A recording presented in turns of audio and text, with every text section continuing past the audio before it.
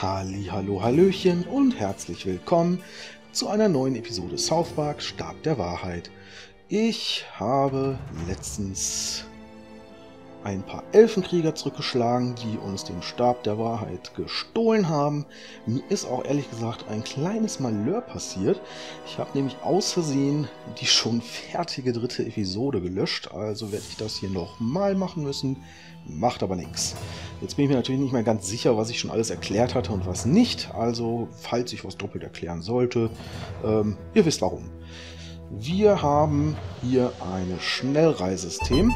Und zwar Certimes Fast Travel, wie man dort unten rechts auch lesen kann. Hier.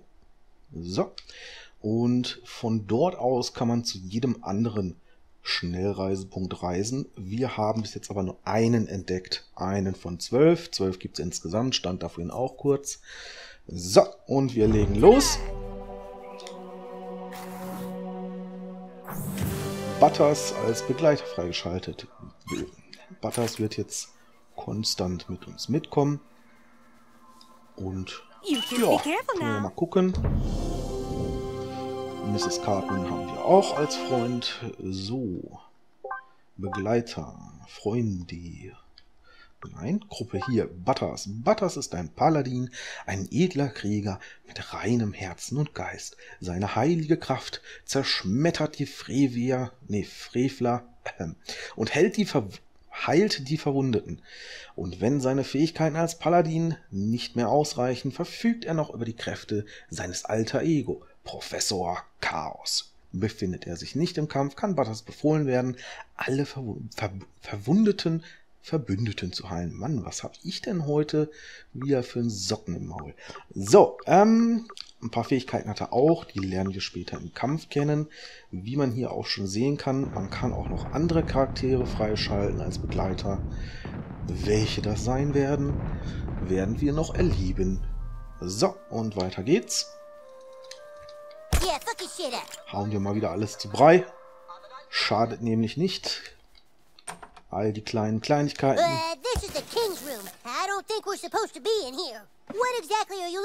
All die kleinen Kleinigkeiten, die wir einsammeln können, geben uns Geld. Auch wenn es nur 20 Cent hier, 50 Cent da sind. So in einer großen Anzahl macht das dann halt doch einen riesen Unterschied aus. So, Who is the Coon? Waschbärposter, 25 Cent, wie man hier sieht. Ja, jetzt stellt euch vor, hast du 10 von gesammelt, 2,50 Dollar, mal eben so. Schauen wir mal in den Schrank rein. Der Awesome eine Faith Plus 1 CD. Was haben wir noch? Cowboy-Hut oben, Beefcake rechts, das Unterhemd, das Muskelshirt, wie auch immer. Kampfgaloss. Jawohl. Schauen wir mal weiter. Ach ja, wir haben ja jetzt den Luschenbogen, das heißt, wir können auch ein bisschen die Umgebung oh, weiter oben kaputt machen. Kann alles mögliche runterschießen. Ganz so gründlich werde ich später nicht mehr sein. Aber für den Anfang so ein bisschen Startkapital damit sammeln, schadet absolut nicht. Unterhose. Schwarzer Donner, lila Leidenschaft und Hase. Ja, Eric Cartmans Mutter hat ihr ihre Spielzeugschublade. This is where the magic happened. Last week Cartman's mom was here with a few men having a whole lot of magic. She was doing hand magic and butt magic. So. So sieht's bei mir nach einer Party auch aus. Nicht. So. Was haben wir hier? Suche Gegenstände, die du färben möchtest. Ah, wir können jetzt Kleidung färben. Genau. Schauen wir doch mal. Wir nehmen anstatt dieses ranzige Blau ein schönes Grün. Grün für die Hoffnung, denn davon brauchen die Juden reichlich. So. Na, hat er? Jawohl, hat er. Braune Kackhose, lassen wir so. Zack.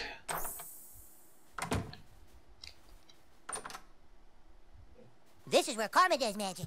Hmm, smells like the wizard is brewing some potion in here. Some wizard stew. Oh, looks like he forgot to flush the stew. Dann wollen wir auch mal ein bisschen zaubern. So.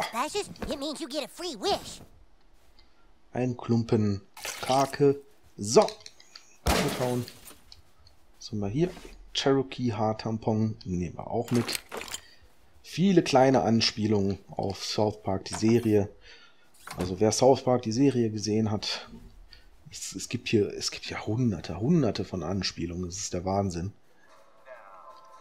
Ich werde ich werd mit Sicherheit nicht alle davon wiedererkennen. Was ich so wiedererkenne, kann ich aber Gelegenheit mal was zu sagen. Tue ich ja auch schon. So.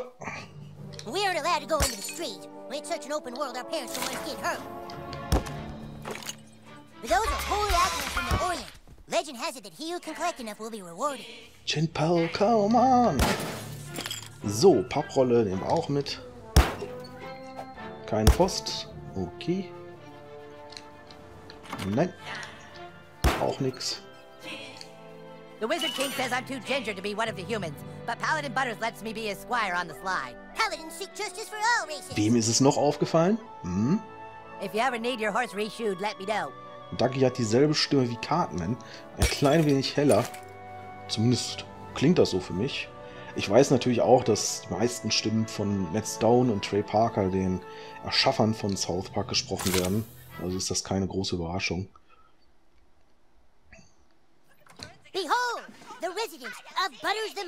Inspektor Butters, eine seiner vielen Persönlichkeiten, ist auch Inspektor. Wer die Episode noch kennt. So. Butters really is a very sweet boy. I hope you'll treat him as you would a normal child. I don't think so. So, die Kacke, die gepinkelt hat. Butters selbstverfasstes Buch. Nehmen wir auch mit. Ah, this must be the new kid. We're playing, Dad. Good for you. You Facebook me right away if Butters does something he should be grounded for. Mach ich. Sieben Freunde, Vorteil verfügbar. Freundschaft hat ihre Vorteile und du hast gerade deinen ersten erhalten. Drücke Back, um deine Homepage zu öffnen und verfügbare Vorteile zu sehen. Also wenn da steht, Freundschaft hat ihre Vorteile und du hast gerade deinen ersten erhalten, dann ist das nicht auf den ersten Freund, sondern deinen ersten Vorteil bezogen. Ich finde das ein bisschen missverständlich geschrieben. So, Clyde schreibt, Fick dich, Neuer, alles lief gut, bis du aufgetaucht bist. Dafür wirst du zahlen, das schwöre ich. Ja, das werden wir noch sehen. Mr. Stotch, du sollst wissen, dass mir die Sache mit Butters wirklich leid tut. So allgemein. Alles klar. Entschuldigung. Was wollte ich hier nochmal? Ach ja, genau. Die Vorteile. Davon gibt es auch reichlich. Hier kann man auch noch welche freischalten. Die schaltet man später automatisch frei. Dann hätten wir hier ähm, 20 Vorteile insgesamt. Ich könnte jetzt natürlich mit euch jeden einzelnen durchgehen. Ich denke mal, mit der Zeit werden wir mal den einen oder anderen rauspicken und kurz was dazu sagen. Aber jetzt alle vorstellen, das sprengt irgendwie so ein bisschen, ja, sprengt so ein bisschen die Zeit hier. So. Zack. Kennt ihr das, wenn ihr nicht genau wisst, wie ihr einen Satz beenden sollt, den ihr gerade angefangen habt? Im Gehirn seid ihr schon wieder einen Satz weiter. Das ist fürchterlich. Das ist mir gerade passiert. Ist euch gar nicht aufgefallen, ne? Mhm. So, schauen wir mal weiter. Das kriegen wir auch kaputt. Zack, wir sammeln natürlich wieder alles auf. Ich weiß gar nicht, ob ich es schon erzählt hatte oder nicht, aber gerade bei diesen, alles was so einen gelben Griff hat, also einen gelben Griff, so einen gelben Henkel, ähm, das kann man, damit kann man interagieren. So, sieht man ja. Seife am Seil. Hier ist zum Beispiel grau, hier kann ich nichts machen. Hier ist ein gelber Griff oder golden. Zack. Da können wir was mitnehmen. So. Nochmal auf Toilette gehen wir nicht. Wir lassen die Dusche an. Damit hat Butters Hausarrest bekommt. Wer soll es sonst gewesen sein? Nur kaum der freundliche Gast. So, gehen wir mal hier rein. Dodge Garagenschlüssel, da schauen wir auch gleich rein.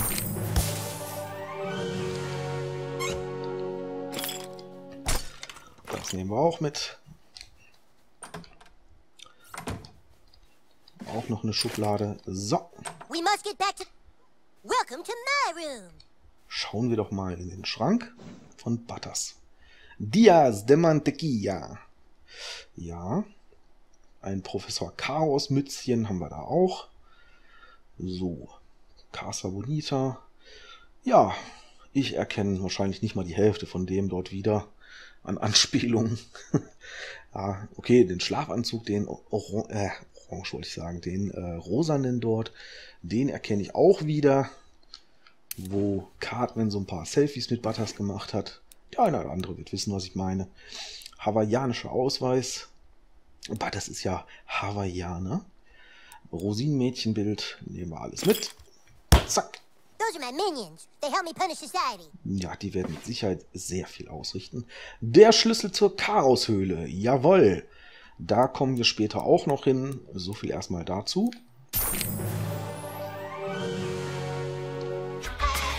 Chimpo, come on. So. Kaputt. Boobs. So, weiter geht's. Ich glaube, wir sind dann durch mit Butters Haus. Küche waren wir auch schon, oder? Ja, waren wir auch schon. Alles klar. Ähm, nur noch mal, wer es vergessen haben sollte, wir sollen Token, Craig und Tweak für Cartmans Armee rekrutieren. Wir schauen uns aber erstmal ein bisschen in South Park um. Gibt ja keinen Grund zur Eile. So.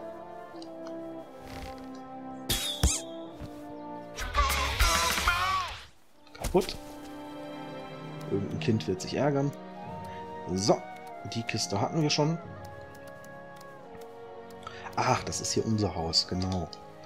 Steht es ja auch sold, gerade frisch eingezogen. Jetzt können wir hier auch den Schnee weghauen und können hier das Zeug mitnehmen. So. Und hier kommen wir auch weiter.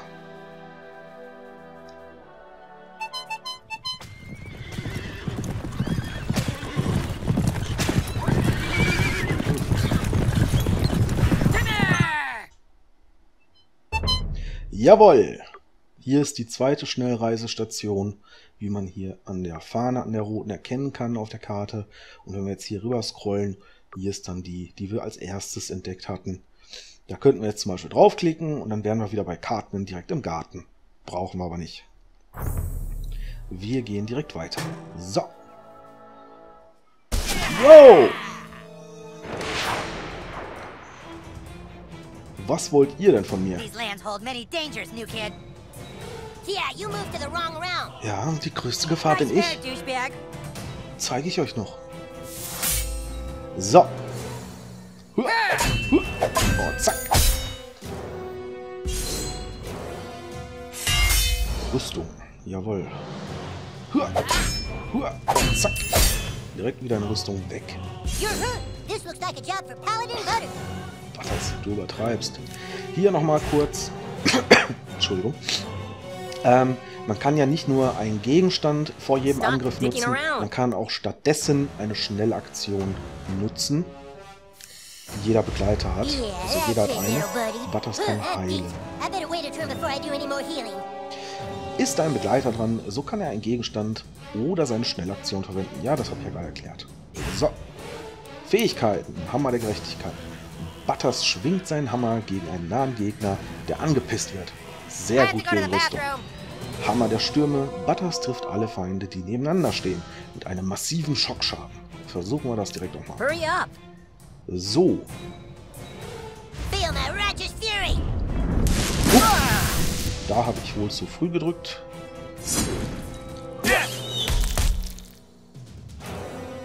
Hey, look, you're bleeding. Feindliche Angriffe, Gegenstände und deine eigenen Fähigkeiten können Statuseffekte bei dir oder deinen Feinden bewirken. Nutze den Bildschirm untersuchen, um mehr über die Statuseffekte zu erfahren, die bei dir wirken. Machen wir doch mal. Hier haben wir die Lupe für Untersuchen. Und hier können wir dann schauen, was die Statuseffekte so anrichten. Schädigt am Ende jeder Ecke. Ruhe da. Kann bis zu fünfmal. Ah ja. Yep, nehmen wir. So. Debuff entfernt. Jetzt always nicht mehr.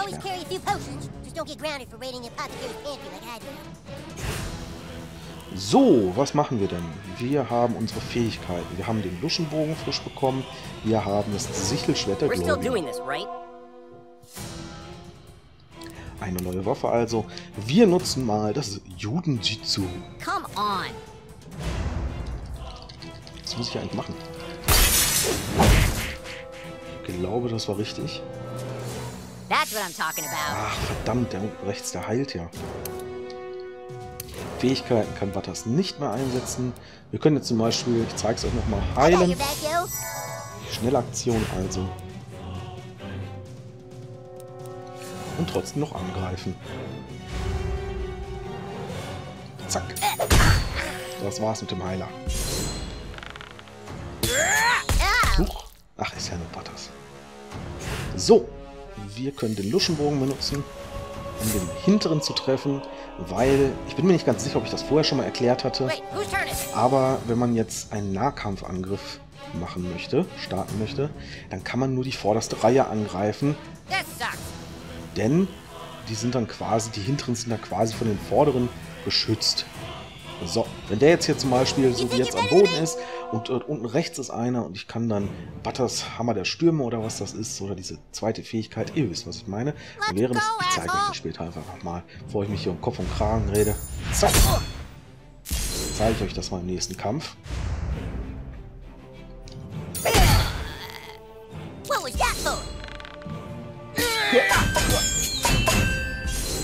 So. Du kriegst auch noch mal auf die Fresse. Zack. So. Feierabend hier. Wir haben gewonnen. Naja, eher ich. Butters macht ja nicht viel. So. Wir sind in South Park. Ja. Wir können aber erstmal... Zack. So, ich hoffe mal, das sind wieder vier. Nee, leider nicht. Aber ich glaube, ich kann es euch da trotzdem zeigen. Ähm, Moment. Erstmal. So. Ah, ich hätte den Heiler zuerst angreifen sollen. Egal. Hier, Hammer der Stürme. Ah, hatte ich doch richtig. So, hier kann man jetzt unschwer erkennen. Unten kann man, also man kann quasi immer nur eine Reihe angreifen mit dieser Fähigkeit. Und ähm, wenn jetzt hier unten links einer stehen würde, könnte ich den hier unten rechts nicht angreifen. Wenn der hier oben links aber K.O. wäre und oben rechts wäre einer, könnte ich auf den oben rechts klicken und ich würde auch den hier unten rechts mit angreifen. Ja, ich glaube, noch unverständlicher kann ich es leider nicht erklären für euch. Der eine oder andere wird mich verstanden haben. Wir machen weiter. Huch. Zack, den kannst du nicht mehr heilen. Au! Wirft er einfach mit Steinen nach uns. Ich glaube, ich spinne. Judengizu. Drücke wiederholt A. You'll pay for that. Betäubt ist er auch. Und Feierabend hier.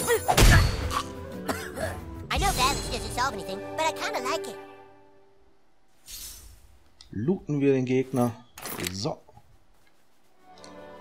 Sorry, but we can't be friends until you have more friends.